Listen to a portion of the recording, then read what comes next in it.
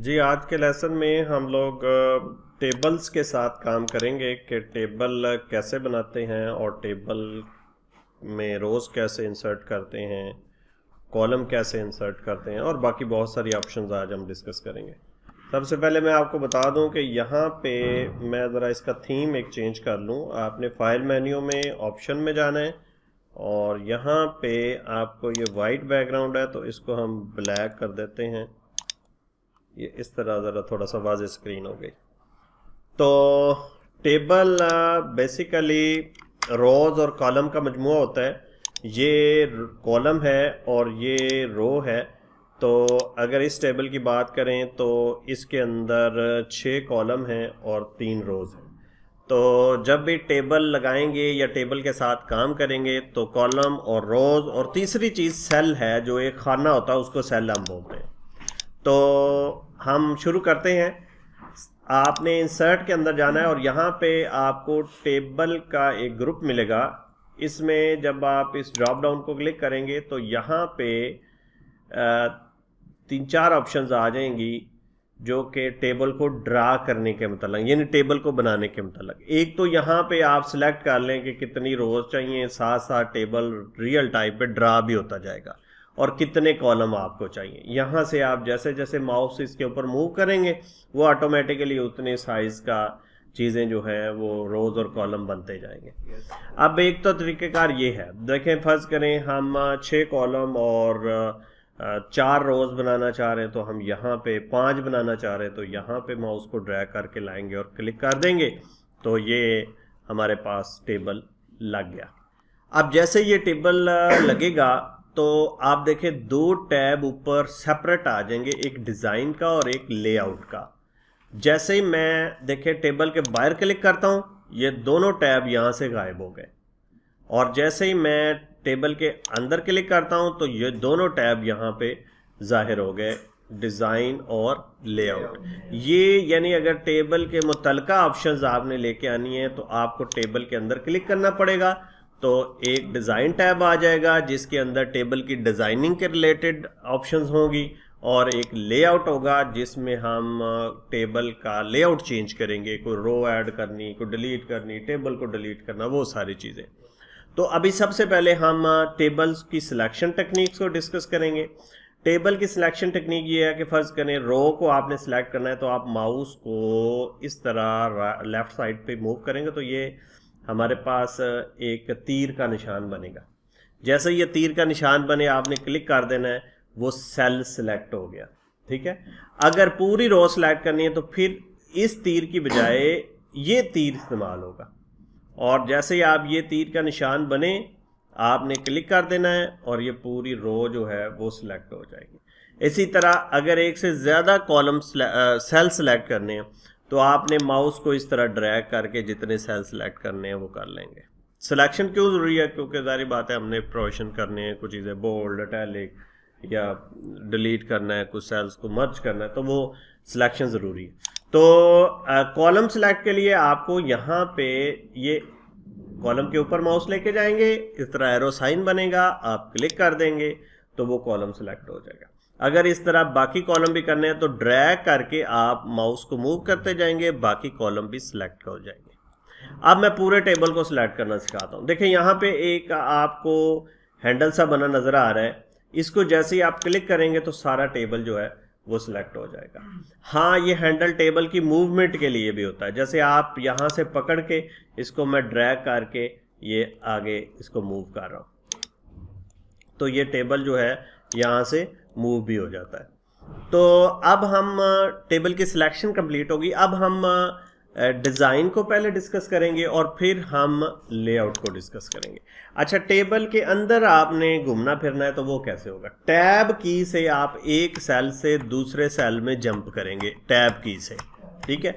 या आप क्लिक कर दें, जिस सेल में जाना है, वहाँ पे क्लिक कर दें तो वो, वहाँ पे आपका कर्सर आ जाएगा। आपने जो भी लिखना है वो यहाँ पे लिख सकते हैं। ओके साथ कुछ और चीज़ें मैं बता देता हूँ। यहाँ पे देखें माउस में लेके गया तो आपको ये इस तरह डबल एरो ऊपर और नीचे आ गया।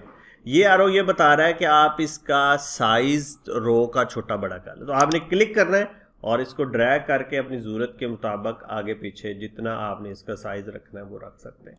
इसी तरह कॉलम का साइज़ आपने चेंज करना है तो यहाँ पे क्लिक करेंगे और इस तरह कॉलम का साइज़ भी चेंज हो जाएगा। ठीक है? और अगर एक सेल का साइज़ आपने क्लिक करना चेंज करना है तो फिर आप इधर क्लिक करें और यहाँ पे जाएँ और यहाँ पे इस तरह उस सेल का जो साइज़ है वो आप इंक्रीज कर सकते हैं।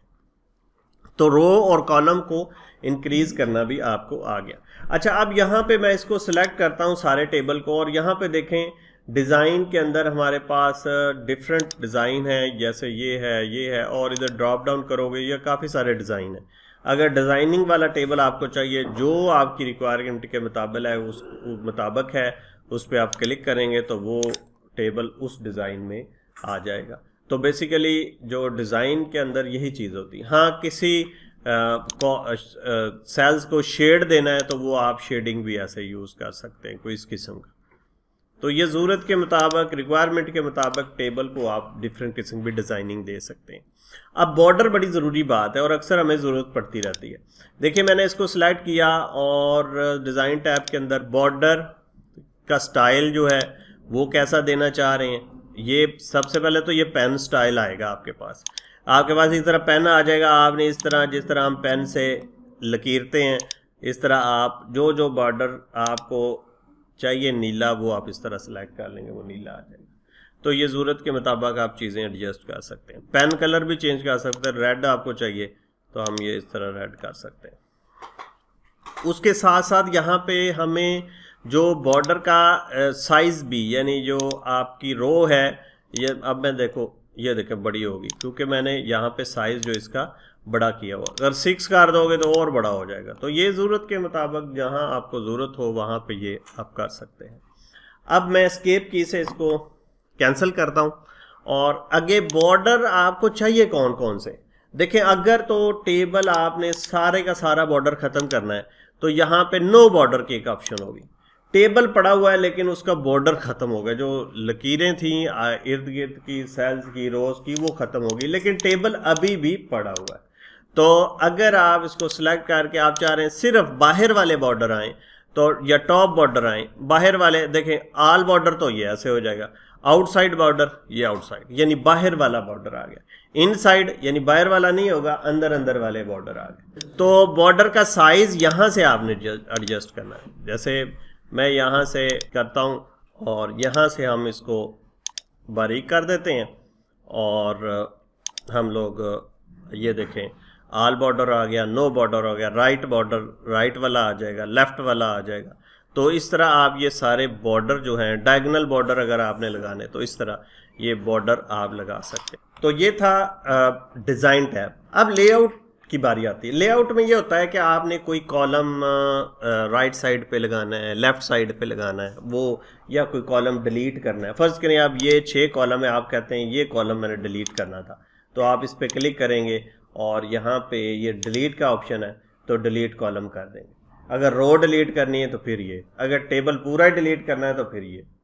तो मैं कॉलम डिलीट कर देता हूँ। अब देखें, पाँच कॉलम रह गए इसके अंदर। अब अगर एक कॉलम आपने लगाना है तो इंसर्ट लेफ़्ट तो लेफ़्ट साइड पे लग जाएगा। राइट करेंगे तो राइट साइड पे। देखें, ये एक और कॉलम लग एक और कॉलम एक और कॉलम एक और कॉलम जितने मर्ज़ी लगा लें। ज़रूरत के मुताबिक। तो अगर रो लगानी है तो यहाँ पे क्लिक करें और insert below below below below ये आती जाएगी। ठीक है? और अब आप इसके ऊपर लानी है तो ये उसके ऊपर आ जाएगी। डिलीट करनी है तो यहाँ से आप कर सकते हैं। अब ड्रा टेबल की बात करते हैं। फ़र्ज़ करें, हमने इसके अंदर कुछ और रोज लगानी है या कॉलम लगाने तो हम ड्रा टेबल इसी तरह वो पेंसिल आ जाएगी। हम कहते हैं, इधर एक लग जाए, एक रो इधर लग जाए, एक ये, इधर। इस तरह टेबल को आप अपनी ज़रूरत के मुताबिक कहीं पे भी रो बना सकते हैं कॉलम बना सकते हैं तो ये ड्रा टेबल से होगा। अब इसी तरह अरेज अगर आपने करना है, फ़र्ज़ करें हम ये चीज़ें नहीं चाह रहे तो ये अरेज भी हो जाएँगी डिलीट हो जाएँगी, ये सारे कॉलम डिलीट हो जाएँगे। जहाँ जहाँ आप ये अरेजर फेरेंगे, वहाँ वहाँ पे ये जो पूरा रोज़ हैं वो डिलीट हो जाएँगे, उनके बॉर्डर डिलीट हो जाएँगे और एक कॉलम बन जाएगा। इसी तरह अगर आपने यहाँ पे आगे थोड़ा सा चलते अच्छा ये ग्रिड लाइन का भी थोड़ा सा मैं आपको बता दूँ। मैं स्केप प्रेस करता हूँ ताकि ये रेज़र ख़त्म हो जाए। ये मैंने टेबल सिलेक्ट किया और मैं करता यूँ हूँ कि मैं जाता हूँ डिज़ाइन में और इसका बॉर्डर कर देता हूँ नो ठीक है? अब कोई बॉर्डर हमें नज़र नहीं आ रहा। लेकिन हमें अब इसके अंदर अगर कोई डाटा एंटर करना है तो हमें थोड़ी सी दुशारी भी होगी कि ये कैसे होगा, ठीक है? तो उसका हल ये है कि आपने यहाँ पे क्लिक करना है और लेआउट में जाके ग्रिड लाइन शो कर लें। तो ये ग्रिड लाइन छोटी छोटी लाइंस नज़र आएँगी, जो कि बॉर्डर नहीं होंगे, बल्कि निशानदेही करेंगी कि यहाँ पे कॉलम ख़त्म हो रहा है, यहाँ पे सेल ख़त्म हो रहा है। अब हम आगे चलते हैं लेआउट के अंदर स्प्लिट सेल कि एक सेल को फ़र्ज़ करें, ये एक सेल है पूरा, काफ़ी बड़ा सारा। इसको हम इसके अंदर रोज और कॉलम बनाना चाह रहे हैं तो हम स्प्लिट सेल करेंगे। तो वो पूछ रहा है कि कॉलम कितने रखने हैं रोज कितनी रखने हम कहते हैं इसके अंदर दो कॉलम कर दो और छः रोज कर दो। तो जैसे ही आप ओके करेंगे तो वो कहता है चार इसके अंदर ऐड हो सकते हैं, क्योंकि कैपेसिटी चार की। तो हम चार करते हैं तो यहाँ पे देखें, चार उसके अंदर जो है, रोज बन गई। तो इस तरह स्प्लिट सेल का भी आपको पता चल गया। अब स्प्लिट टेबल एक टेबल को दो हिस्सों में तकसीम करना है तो फ़र्ज़ करें यहाँ पे कर्सर रखते हैं, हम स्प्लिट टेबल कर देते हैं, ये दो हो गए एक ऊपर आ गया और एक नीचे हो गया। स्प्लिट का मतलब भी होता है कि उसको दो हिस्सों में तकसीम करना। अब इस तरह ये रोग हाइट यहाँ से भी चेंज कर सकते हैं और वेट्स कॉलम वेट्स भी यहाँ से चेंज कर सकते हैं। और फिर उसके बाद यहाँ पे देखें डिस्ट्रीब्यूट रोज़ ये रोज़ सारी इक्वल हो जाएँगी, ठीक है? और डिस्ट्रीब्यूट कॉलम कॉलम सारे एक जैसे होंगे, जो साइज़ कॉलम्स का है, वो सारा एक जैसा हो जाएगा। अभी क्योंकि हमने काफ़ी सारी रोज़ दरमियान में मर्ज भी हुई हुई हैं तो वो डिस्ट्रीब्यूट नहीं हो रहा। तो distribute basically equal size of rows और इक्वल साइज़ ऑफ़ कॉलम अब एक यहाँ पे देखें चीज़ मैंने यहाँ पे लिखी। और मैं यहाँ पे देखें, ये ये अलाइनमेंट है।